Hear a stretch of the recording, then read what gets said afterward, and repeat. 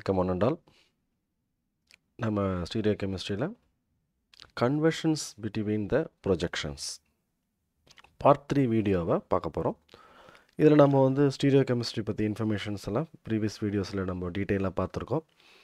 அதே மாதிரி ப்ரொஜெக்ஷன்ஸ் அப்படின்னு நம்ம என்னத்துக்கு மீன் பண்ணுறோம் அப்படின்னா ஒரு த்ரீ டைமென்ஷனல் ஸ்ட்ரக்சர் இருக்கிறத நம்ம டூ டைமென்ஷனல் வியூவில் எப்படி பார்க்க முடியும் அப்படின்ற ஒரு ஐடியாவில் கொண்டு போய் கொடுக்கக்கூடிய விஷயம் தான் ப்ரொஜெக்ஷன்ஸ் அந்த ப்ரொஜெக்ஷன்ஸ் சம்மந்தமான விஷயங்கள் நம்ம பார்த்துருக்கோம். இந்த பார்ட் த்ரீயில் என்ன பண்ண போகிறோம் அப்படின்னா எப்படி கன்வெர்ட் பண்ண போகிறோம் அப்படின்ற விஷயத்தை பற்றி பார்க்க போகிறோம் இப்போது நம்ம நியூமேன் இருக்குது.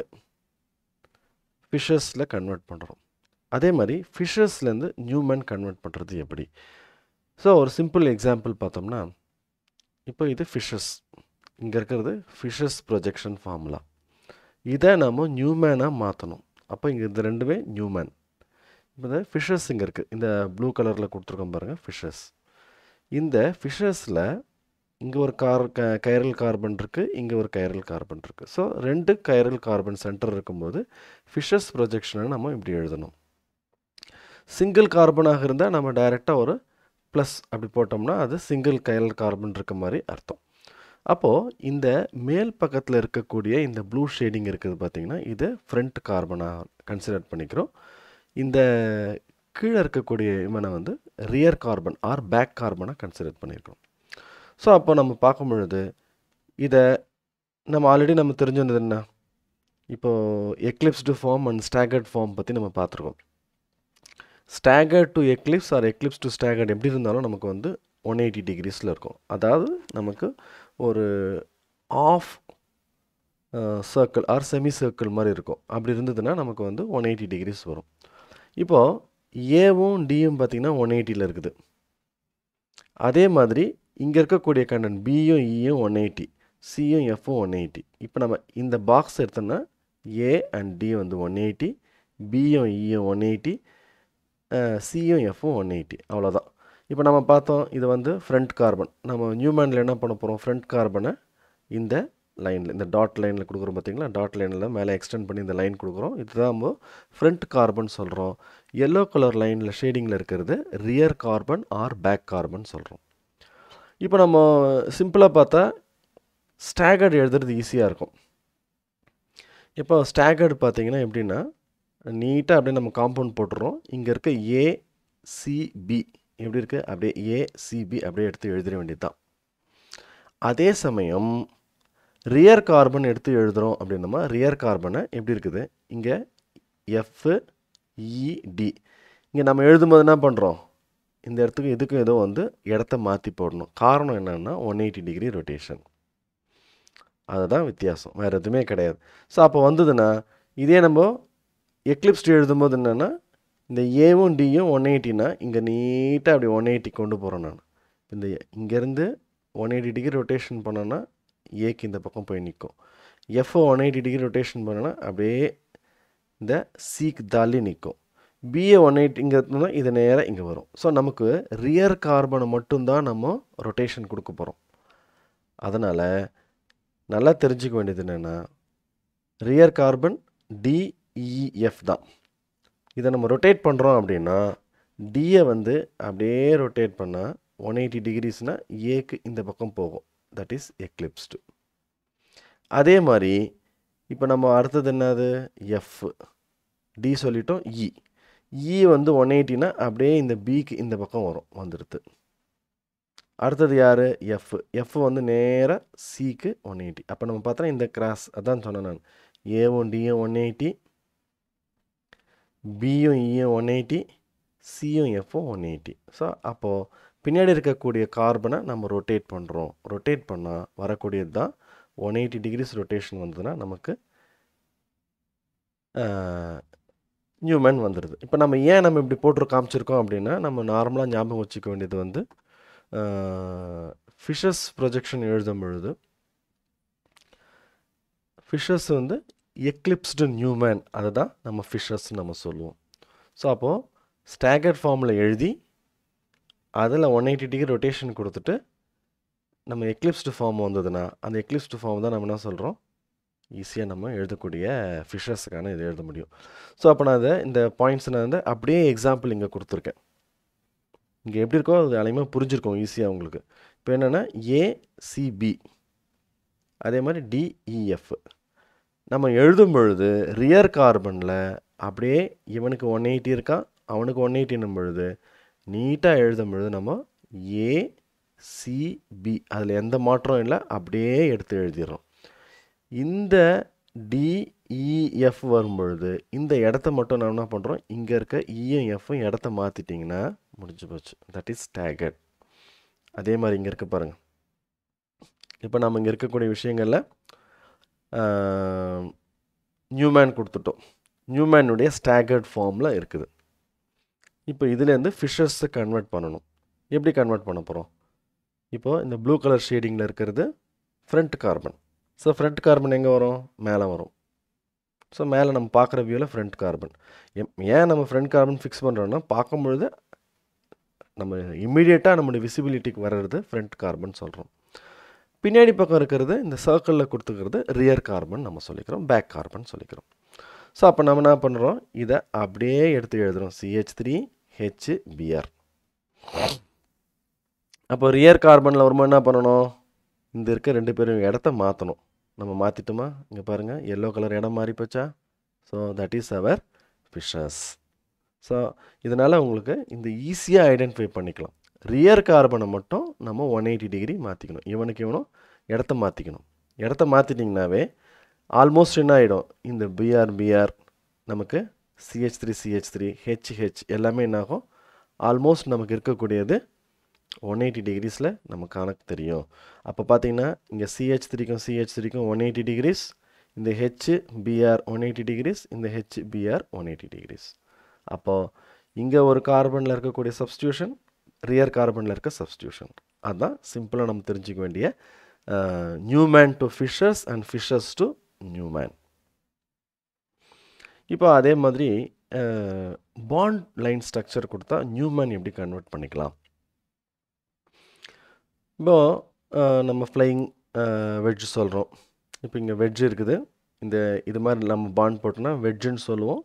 இதை வந்து ஃப்ளையிங் சொல்கிறோம் இப்போ நம்ம எப்படி பண்ணிக்கிறோன்னா இந்த வியூ பண்ணுறோம் இப்போ இந்த கா நம்ம கா இந்த carbon number one carbon number two இருக்குது.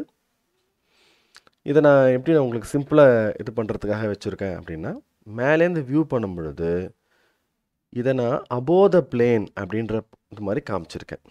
இது மாதிரி அந்த வெட்ஜு வந்து அபோத பிளேன் நம்ம வைக்கக்கூடிய விஷயங்கள் இந்த வெட்ஜு எப்படி இருக்குன்னா அந்த பிளேனுக்கு மேல் பக்கத்தில் இருக்க மாதிரி நம்ம சொல்கிறோம் இப்போ இதுதான் பிளேன்னா இதுக்கு மேல் பக்கத்தில் இருக்கிறது வெட்ஜு அதே மாதிரி இந்த கீழ்ப்பக்கத்தில் வரக்கூடியது பிலோ த பிளேனை இந்த டாட்டர் லைன் கொடுக்கல இது வந்து இந்த டேஷை வந்து நான் என்ன சொல்கிறோன்னா பிலோ த பிளேன் சொல்கிறோம் இங்கே பார்த்துக்குங்க கார்பன் ஒன் கார்பன் டூ எடுத்துக்கோங்க. இப்போ நம்ம எப்படி பண்ண போகிறோன்னா பிலோ த பிளேனை லெஃப்ட் ஹேண்ட் சைடு வச்சுக்க போகிறோம் அபோவ் த பிளேனை ரைட் ஹேண்ட் சைடு எடுத்துக்க போகிறோம் அப்போது வெஜ்ஜு எங்கெங்கே இருக்குது? வெஜ்ஜு இங்கே சிஎல் ஒரு வெஜ்ஜு இருக்குது ஹைட்ரஜன் ஒரு வெஜ்ஜு இருக்குது இங்கே எடுத்து எழுதிட்டேன். இது வந்து அபோவ் த பிளேன் அதே மாதிரி பிலோ த பிளேன் யார் யார் இருக்கலாம்? இது மாதிரி இந்த டாட்டட் அதான் டேஷ்னு நம்ம சொல்கிறோம் இந்த டேஷ் மார்க் கொடுக்கறது வந்து பிலோ த பிளேன் அதை பிஆரும் அப்படி தான் இருக்குது. இந்த ஹெச்சும் அப்படி தான் இருக்குது அதே சமயம் இங்கே சிஹெச் த்ரீயும் ஓஹெச்சும் oh எப்படி இருக்குது ஆன் த பிளேன் அந்த பிளேன் மே அப்படியே நம்ம பிளேனுடைய லெவல்லே அப்படியே இருக்குது. பிளேன் மேலேயே அப்படியே இருக்குது. அப்போ அதை நம்ம எந்த டிஸ்டர்பன்ஸும் கொடுக்கல. இவனை இவனுக்கும் இவனுக்கும் ஒன் எயிட்டி டிகிரி நம்ம வச்சுக்கிறோம். அப்போ என்ன ஆகும்? பாருங்கள் இப்போ நியூமனுடைய இது போட்டுக்கிறோம். நியூமனுடைய ஃப்ரண்ட் கார்பன் யார்? இந்த ஹெச்சு இங்கே சிஎல்லு இங்கே சிஹெச் த்ரீ வந்து நம்மளுடைய நியூமேனில் இருக்கக்கூடிய இது. அப்போது இந்த ஃப்ரண்ட்டில் இருக்கக்கூடிய நபரை நம்ம என்ன பண்ணுறோம் எந்த டிஸ்டர்பும் பண்ணல. ஹெச்சு சிஎல் சிஹெச் த்ரீ அப்படியே எடுத்து எழுதுகிறோம் சரியா? அதே மாதிரி இங்கே நம்ம வந்த ஆளுங்களாம் யார்?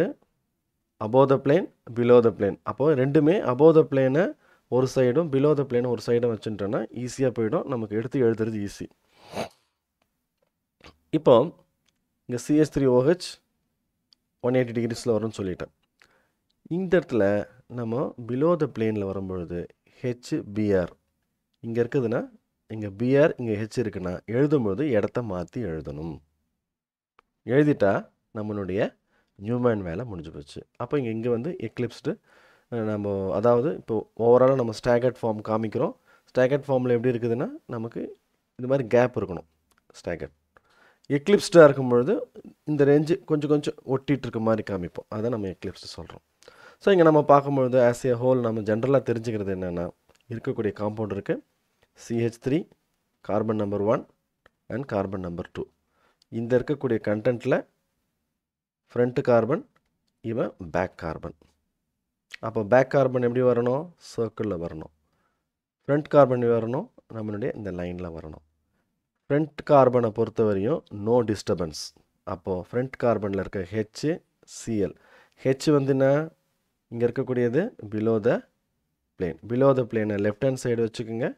அபோவ் த பிளேனை ரைட் ஹேண்ட் சைடு வச்சுக்கோங்க. அப்போது சிஎல் எங்கே வருது? அபோவ்னா இந்த அபோவ் வரக்கூடிய ஆளுங்கள்லாம் எப்படி வரணும்? ரைட் ஹேண்ட் சைடில் வரணும். பிலோவில் வர ஆள ஆள்லாம் லெஃப்ட் ஹேண்ட் சைடில் போட்டுக்கணும். அவ்வளோதான் ஸோ அப்போது இந்த பிலோ நம்ம வச்சுக்கும் போது ஆட்டோமேட்டிக்காக இங்கே போட்டுக்கலாம். இதுதான் நான் என்ன சொல்லியிருக்கேன்? பிலோ த பிளேன் வரும்போது நம்ம இடம் மாத்திரம் சொல்கிறதும் இதுவும் ஆல்மோஸ்ட் சேம் மீனிங் இப்போ லெஃப்ட் ஹேண்ட் சைடு வச்சுட்டேன் இப்போ ஃப்ரண்ட் கார்பனில் நோ சேஞ்ச் அதில் ஹெச் சிஎல் சிஎஸ் த்ரீ போட்டுட்டேன். ரியர் கார்பன் என்ன பண்ணணும்? சர்க்கிள் போட்டுவிட்டேன் இந்த நம்ம பிளேன் மே இருக்கக்கூடியதில் பிளேன்லேயே இருக்கக்கூடியதை வந்து நம்ம என்ன பண்ணுறோம் ஓஹெச் அப்படியே எழுதிக்கிறோம். அப்புறமா இருக்கக்கூடிய அதர் ஆள் வந்து யாருன்னா நமக்கு பிஆரும் ஹெச்சும் தான். ஹெச் வந்து என்ன? Above the plane and BR வந்து below the plane so below the பிளேன்னும்போது left hand side above the பிளேன்னும்போது right hand side சிம்பிளாக முடிஞ்சு போச்சு. இதுதான் நான் என்ன பண்ணேன்? இது above the plane below the பிளேன்லாம் குழப்பம் இல்லாமல் இருக்கணும்னா ஒரே வழி இயருக்கு இந்த ரெண்டு பேர் இடத்த மாற்றிட்டிங்கன்னா that is our place for rear carbon rear கார்பனில் மட்டும்தான் இடத்த மாற்றிக்கணும் இந்த சப்ஸ்டியூஷன் இருக்கிறத இடத்த மாற்றிட்டிங்கன்னா முடிஞ்சு போச்சு. ஸோ அதே பாயிண்ட் தான் இங்கே நான் ஸ்பெசிஃபை பண்ணியிருக்கேன் லெஃப்ட் அண்ட் ரைட்ன்ற ஃபோக்கஸில் இந்த above the plane below the plane சொன்ன மாதிரி இங்கே லெஃப்ட் அண்ட் ரைட் சொல்லியிருக்கோம். இப்போ இங்கே வந்து ஃப்ரண்ட் கார்பன் இருக்குது ஆசச் நம்ம ஃப்ரண்ட் கார்பனை டிஸ்டர்பன்ஸ் இல்லாமல் ஹெச் சிஎல் சிஎஸ் த்ரீ எழுதிட்டோம். அதே மாதிரி இந்த வியூவில் பார்க்கும்பொழுது இந்த பொம்மை என்ன சொல்லுது? அதனுடைய ரைட் ஹேண்ட் சைடு இப்படி இருக்குது லெஃப்ட் ஹேண்ட் சைடு இருக்கணும் போது லெஃப்ட் ஹேண்ட் சைட்லலாம் நமக்கு இங்கே இருக்கக்கூடிய பிலோ த பிளேன் காமிச்சிக்கிறோம்.